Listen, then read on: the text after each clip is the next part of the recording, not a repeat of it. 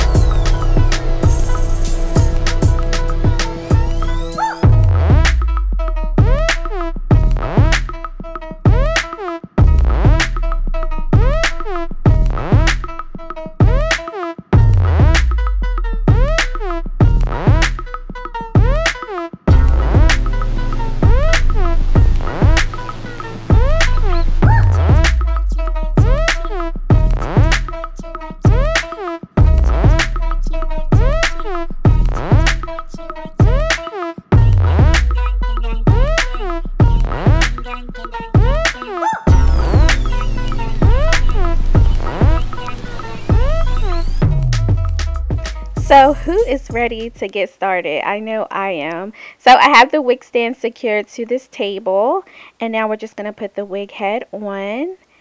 And we are going to be wrapping this wig head with paper towel and saran wrap. I know when y'all saw that, y'all was like, what? what? What do we need paper towel and saran wrap for? But these mannequin heads are so tiny that if you make a wig on this, you will be very disappointed when you try to put it on your big head, okay?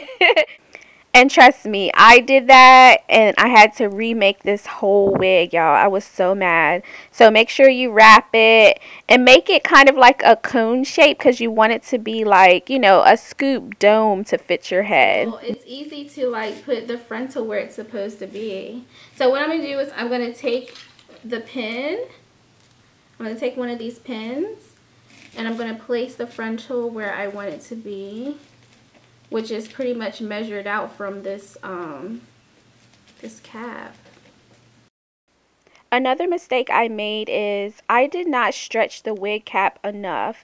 I put it on a natural hairline. However, this is a mannequin, so stretch that thing even if you have to put it to the eyes. This into a little bun just so it's out of the way.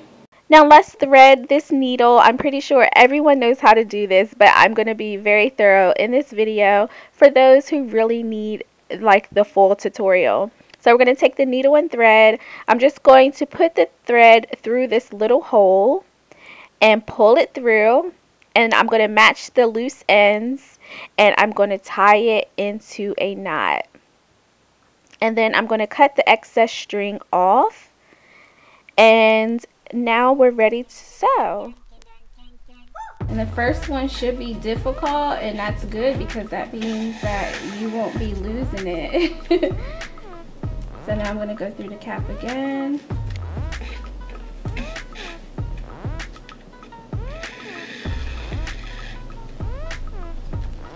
And then through the um, closure and pulling it really tightly.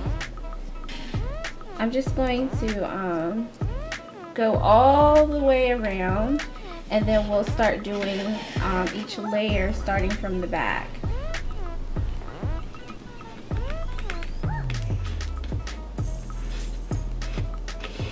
So it's really easy. I'm going through the net and then I'm going through the um, closure and it's getting easier now because it already has the holes for you. So far so good. You just have to be really careful with this part because it could start getting um, tangled and make a knot. And then just make sure it's nice and tight. All right so i'm almost done this section. I have a few more stitches to go. So i want to come back on film so you guys can see how to finish this off. So I'm gonna cut the string. Now with the excess, we have to tie a knot. And sometimes, y'all, this is this is actually pretty short, and sometimes it's even shorter, and that sucks because trying to tie a knot with that little piece of string is hard. So I'm tying it really tight, and I'm gonna do a double knot. Shoot, you can do a triple one if you want. Now I'm just to cut that off, cut that string. And there. So now we have this all sewn all the way around. And now we're ready to do our wefts.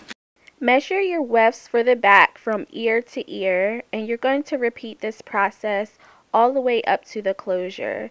The only tip that I do have for you um, during this process is I like to make the tracks closer together at the bottom to give your hair that thickness so it doesn't look so see-through.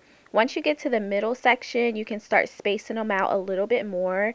And then once you get closer to the closure, start spacing them smaller together like you did, you know, at the beginning and it's the same process. You tie it off and then cut it.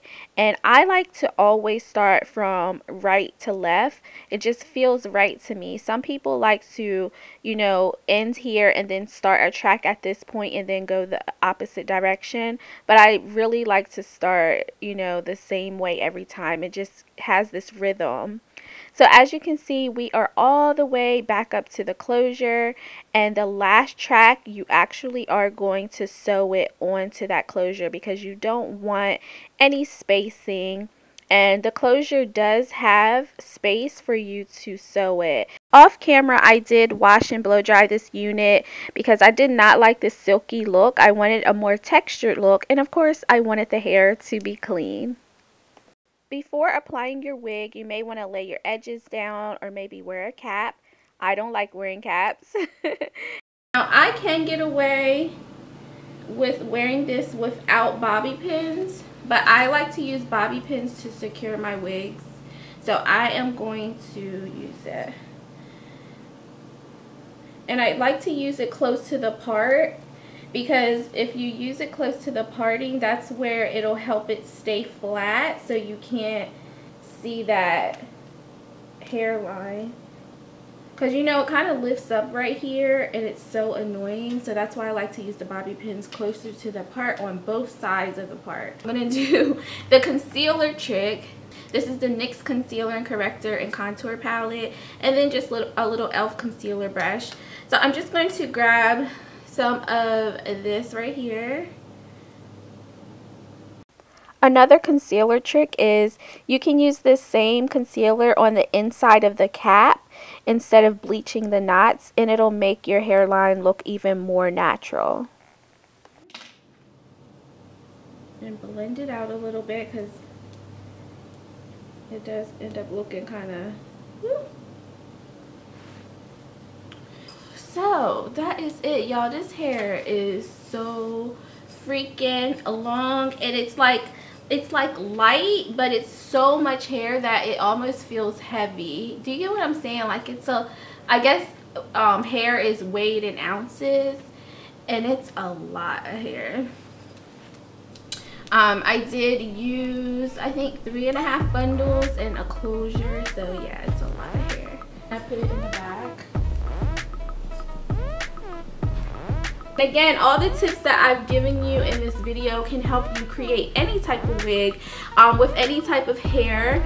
And Elfin does have a lot of different textures and, you know, you can check it out. I'll leave the um, link in the description box so you can go shop around and see what you see. If you have any questions, please leave it in the um, comment section below. Thank you guys so much for watching. I hope you guys love this video. And I will see you in my next one. Goodbye, curls.